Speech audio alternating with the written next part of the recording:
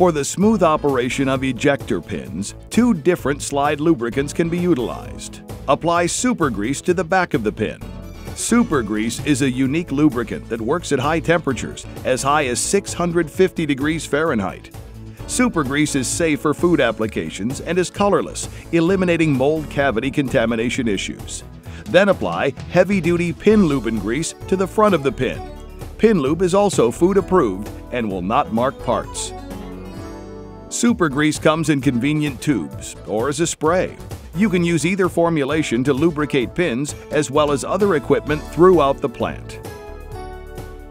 You can also apply lubricant to the front of the ejector pins during production.